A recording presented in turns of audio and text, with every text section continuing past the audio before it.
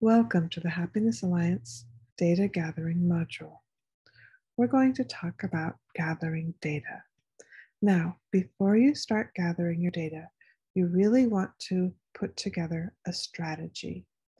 Within this strategy, you want to have a really good idea of how you're going to raise awareness. Too often, people decide to gather the happiness index data in their community and they don't spend enough time raising awareness, getting the word out, engaging people. We have another module about this, and you're highly encouraged to look at that. It also includes ideas for creating your strategy. So just remember that, but let's go back to data collection. There are different ways to gather data. If you've taken the happiness index online, then you've already experienced one of them.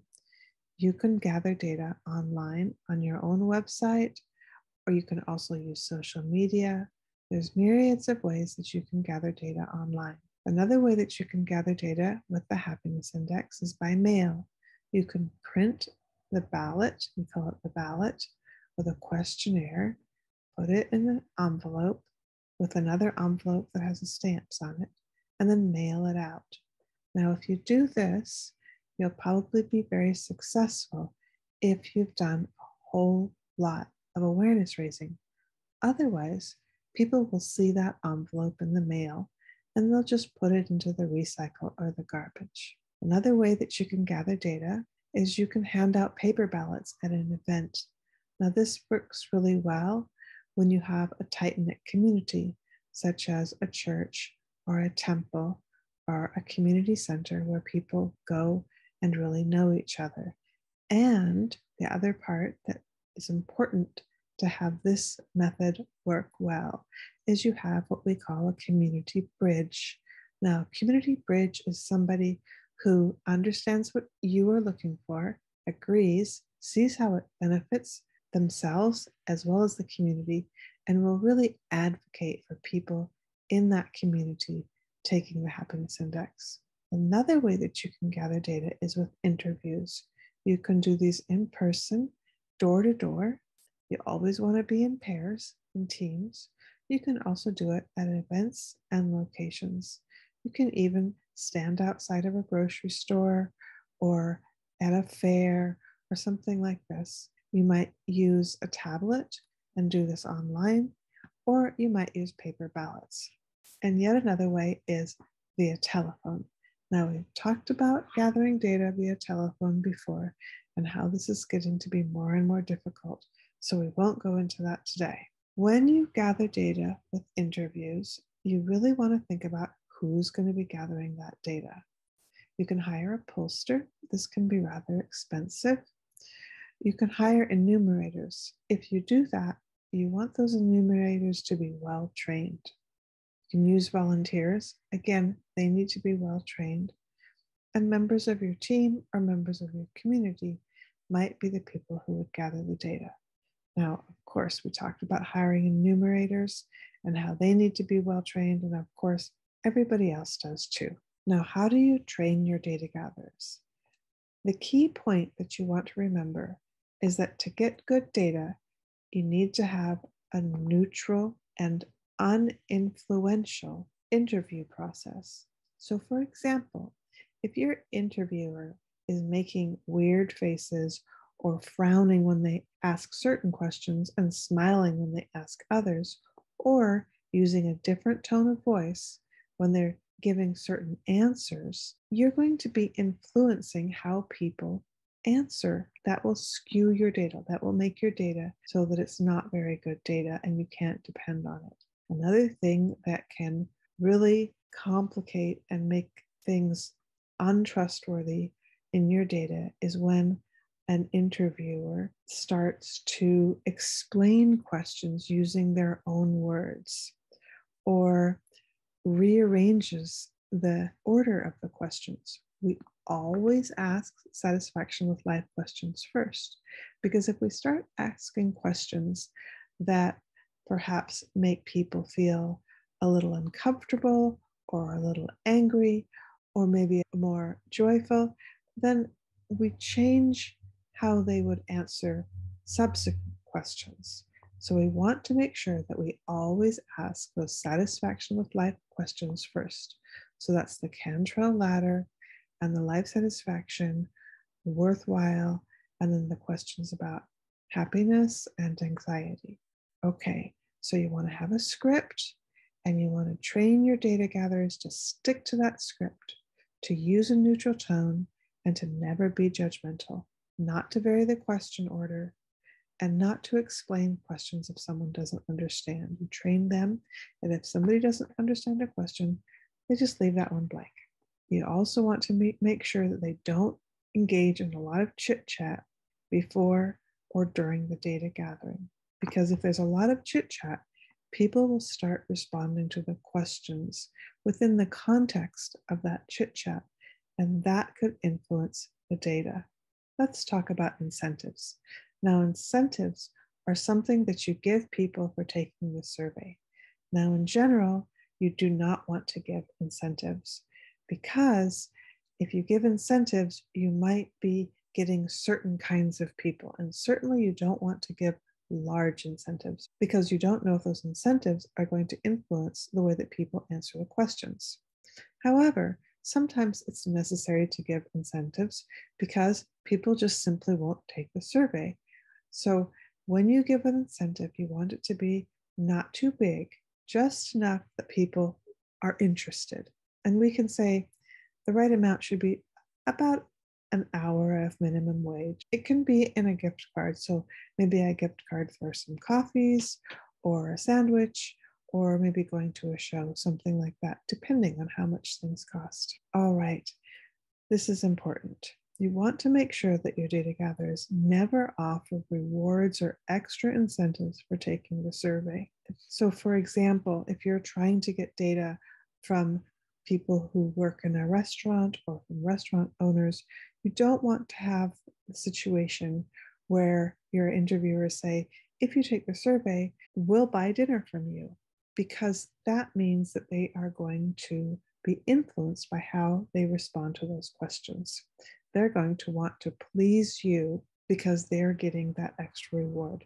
So, incentives should be something that are given to everybody, no matter what, who takes the happiness index, or to nobody, and nothing more and nothing less. Let's talk about the script.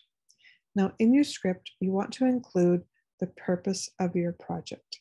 Why are you collecting the happiness index data? This can just be one sentence or maybe two.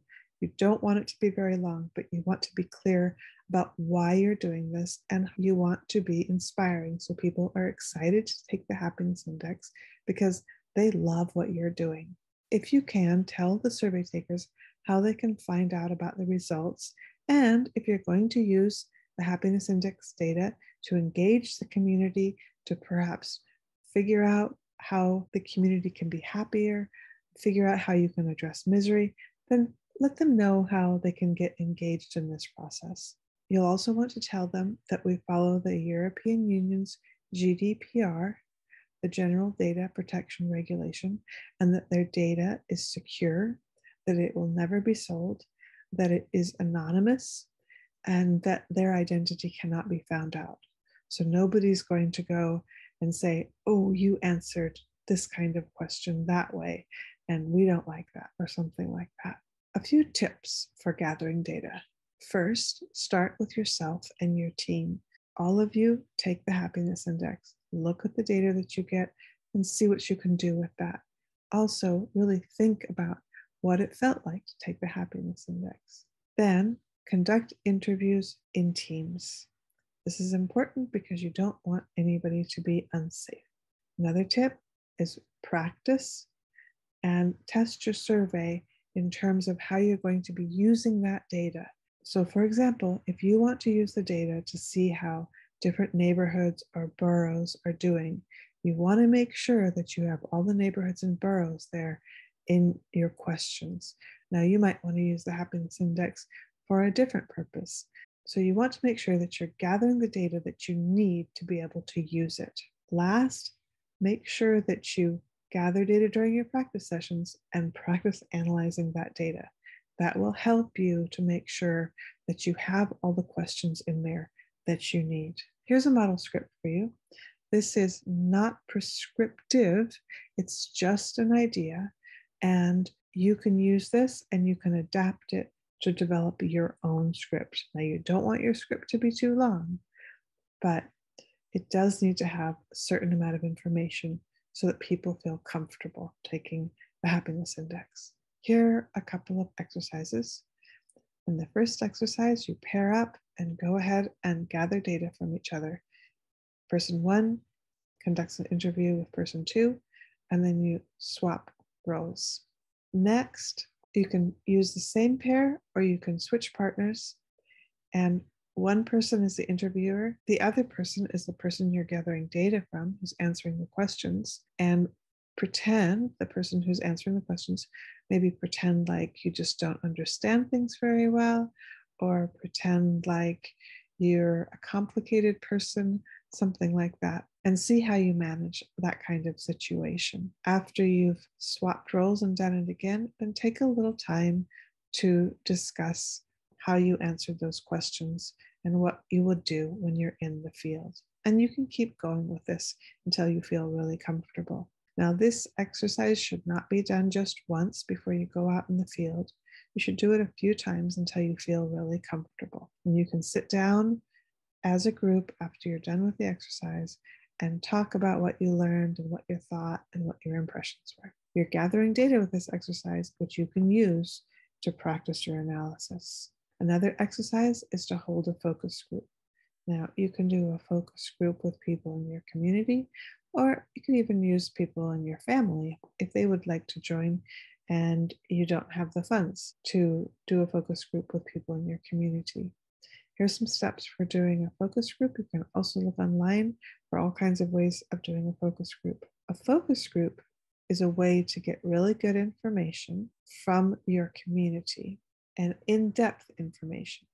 But the information is only going to be as good as your questions.